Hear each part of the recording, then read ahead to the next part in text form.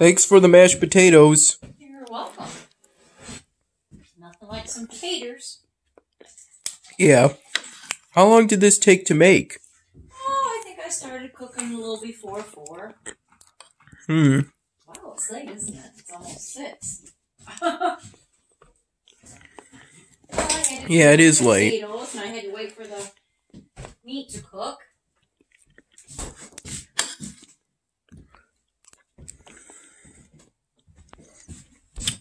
This is some good fruit. Why did you like it? So what did you do today? Well, I was trying to. I did updated my resume and sent it to two different places, and I s- uploaded some information for my students as a review. And I was going through some pictures, trying to print some pictures for Grandma. And I was printing some, but then it, the printer got kind of weird. Are these uh childhood pictures? Well, all kinds of different pictures, yeah. Some when me and my when my sisters were little, kind of little. I mean, they were teenagers, twenty maybe. And I have one of my mom and my dad when I got married, but I couldn't make it the color print correctly. And then I started cleaning out the pantry cupboard. What's the pantry cupboard? Well, you know, that's where our food is. Hmm. Did you find any food that was expired? Yeah, a little bit. How much was it expired by? Because you can eat food that's past the expiration date. Just to make sure you don't eat something that smells bad and tastes bad. Well, it was expired by a couple years. A couple years. What was it? Some salad dressings Hmm. that was sealed up. Oh yeah, you still have to use those seasonings I got for making dip. Well, we can do that. Do you have sour cream? Mm, no. What do we put in it? Half sour cream and half mayonnaise? Yeah. Mm. That's it. Just need some sour cream, I guess.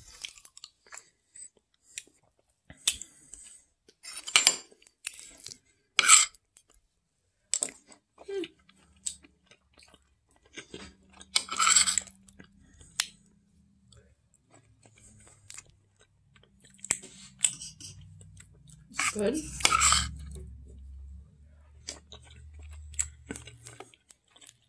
So you said you make the mashed potatoes with milk and butter? Yep, with the mi- the mixer, electric mixer, and just potatoes, and I guess I could put some pepper on there, Pepper? but I didn't You mean the seasoning? on the mashed potatoes. What would pepper do for the mashed potatoes? Well, just give it a little seasoning's all. Hmm.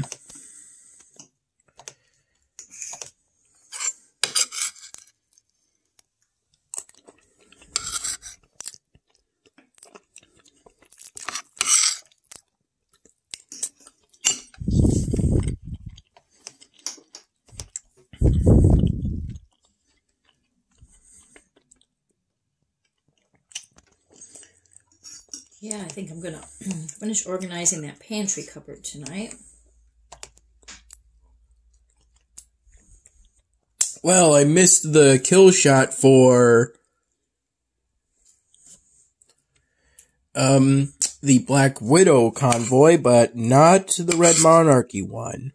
Hmm. An important thing to realize mm, this is a multiplayer game. Oh, So there's real people. You you encounter real people in the game. oh, who are you playing with? The strangers. I don't personally know anyone Hmm. on the game. As in, I've never seen anyone who plays the game in real life, except obviously for those I invited, Wow. Hmm. which is you, Dad, and a librarian Oh. Well, that's good. on the college campus. Hmm. I hope missing the kill shot doesn't give you a bad reputation. Probably not. You were just busy. That and um, the Greenwich Mean Time is used. Oh. Well, that's good. It's accepted as a universal time zone.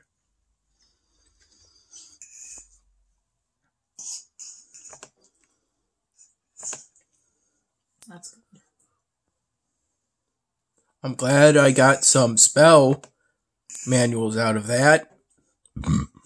Excuse me. Oh, me too.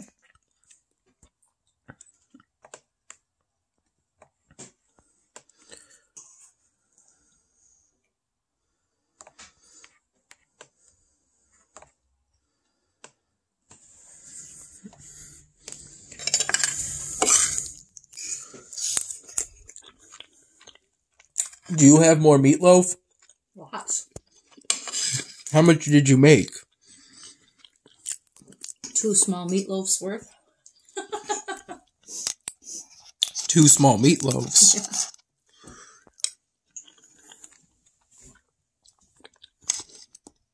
And How much is that in pounds? Well, right, at least maybe two and a half pounds. Why? Hmm. Well, that sounds pretty good. And I still have enough to make tacos. Meatloaf tacos? Well, taco tacos. I think meatloaf tacos sounds like a great idea. Hmm. What are they gonna do? Just grab some meatloaf and shove it in the thing? Yeah. Do you think we could go to Wegmans and get some sour cream? Although, we probably have to get some more substantial ingredients. Maybe. Maybe tomorrow. Yeah.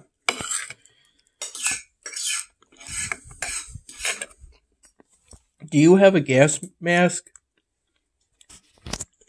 No, I meant a medical mask. I think I might have just some plain masks out in the garage. That might be good for when we go out to Wegmans. Gotta be courteous. I think so.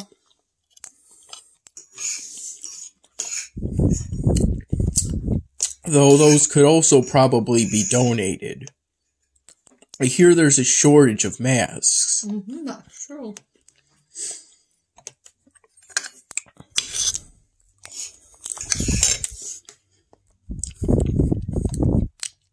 Have you heard any recent news? Yeah, I guess so. I usually watch the news at noon and six.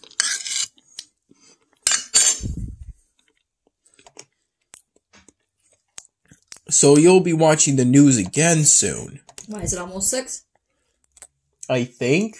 Isn't that oven clock an hour yes. Early? It is. Yes, it is. What does it mean when uh when the time is an hour slow versus an hour fast? What do you mean? It just means it's off Yeah. by an hour. I think if it's one hour fast, it's the real time is one hour behind. Oh, And when it's one hour slow, the Yes. real time is one hour ahead. yes, you were right. That's what I think. No, you're correct. Isn't it um it's kind of amazing that when I was in Italy, my morning was different from yours. yes, it was. Though of course there's a simple explanation behind that. Yeah, there's a time difference. Yeah. The sun the sun's light rays only light up part of the earth at a time. Yeah. Did you know that me and your dad missed our flight home from our honeymoon because we because of the time change? Time change? Yeah, because we were down in Puerto Rico, and the it was when we were the day we were flying home. It was the time change in our country, and we were the night before we were watching a sporting event from uh, America, and it said, "Remember to turn your clocks back." So we didn't realize that Puerto Rico didn't change their time back because we didn't realize we because we were watching an American show, and so we thought we had an extra hour. we missed our flight home. Oh, Puerto Rico doesn't do daylight savings. Right, and we didn't realize that because we were watching TV and they told us to change our clocks back. So we missed our flight, so then we had to change our tickets and get new flights home. So your dad only got about. Not, and the last flight to Rochester was a small little rickety rickety plane that was making a lot of noise, and we were really nervous. Hmm. If I remember correctly, the plane that took me from Rochester to Newark, the one you booked for me was a small plane. And uh, it was exciting watching the plane take off. Was it? Yeah. That's good. Hmm, the one getting you down to Newark, not the one coming home. What? The The- one going down to Newark or the one coming back to Rochester? I think both. Or small. hmm And the one that took me from Newark to Germany, let's see, I believe I was taken to Munich on the way to Italy. And on the way back, it was to Frankfurt. Wow. So I went to two different cities in Germany. That sounds nice. And you know, Europe isn't that much different from the United States. Though, of course, there are some considerable differences. Oh, yeah? The drinking age is 18 instead of 21, so Hmm. I had some alcoholic beverages I know you did. when I was in Italy and Greece. Did they make you feel weird? Mm, only at one point did I get a warm feeling in my cheeks, I think. Oh, dear. I know that I know that I had a when that occurred I had a beverage alcoholic beverage that was pear flavored. Hmm. Interesting.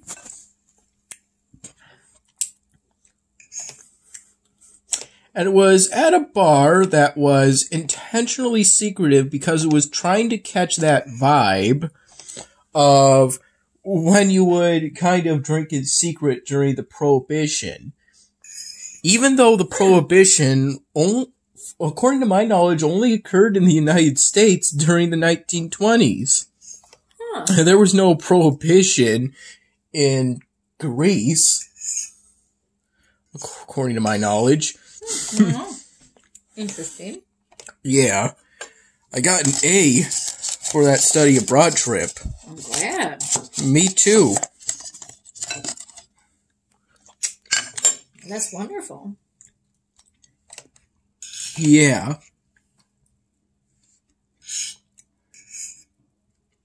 I t- don't think it was such a great idea for me to not go f- immediately go for that um damage boosting strategic point. I believe it's called Victorious Courage. Hmm. I don't know. I'm not too knowledgeable about video games. Understandable.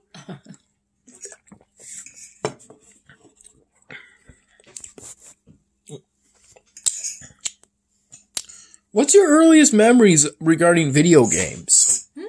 Uh, Your father used to play them a lot when we were going out and when we were married, but that's really about all. I never really was good at them.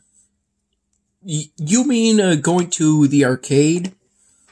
Oh, No, actually, when I before I knew your dad, I used to go over in Whitesville. They had a little arcade, and I used to go over and play Pac Man. But it was a big machine that stood up on the floor. A big machine? Mm-hmm. Had like the joystick thing. Why was it a big machine? And back in those days, they, it wasn't really the age of the computers yet. True. So that's that was our option if we wanted to play a game. I understand the simpler games, but I play games on Kongregate because I like to collect the badges. I'm oh. currently playing Decision Medieval because I want to get the hard badge for 100% completion. Oh, that's good. Yeah. Sounds awesome. I'll be sure to listen to the online lecture for my ethics in criminal justice class at one point. Yeah, what your so your teacher just taped himself talking? Essentially, hmm. Well, that's good. I have to make a decision on what I want to do in my Senate job from home. Oh yeah. Yeah. Hmm. What are your choices? Well, hmm. I've been working on an OER brochure for some time now. Hmm. I should probably finish that first at some point. Oh. And um, I expressed uh, me wanting to make a series of videos to inform the students on important topics using Vyond. I should have plenty of time for that now, but Oh, there's something called Vyond where you can make videos. th- that's the current name of the program you initially got me back in 2013 when it was called Go Animate. That's the program I used to make Oh. all my Dan Hamming videos. Oh, so you can use that same program to give a speech or a lecture to your students? Yeah, I used it to get a 100 on my AP psychology final and to get an A in my study abroad program. Do you use animated people? Or do you use yourself? I click and drag pre-made assets, though for the characters you can make custom ones. Huh. Well, that sounds interesting. Yeah, I think so. Wow. I should hire you to make some skill videos for my students. Skill videos? Or videos? some kind of, yeah, some kind of ed- educational video so they can pass their test. Wouldn't these be on nursing though? Yeah. Hmm. I could probably try and make some informative videos. You would just have to give me the information. Hmm. Yeah, I gotta th- think of some different things for my students when they get back to school. I'm trying to keep them occupied now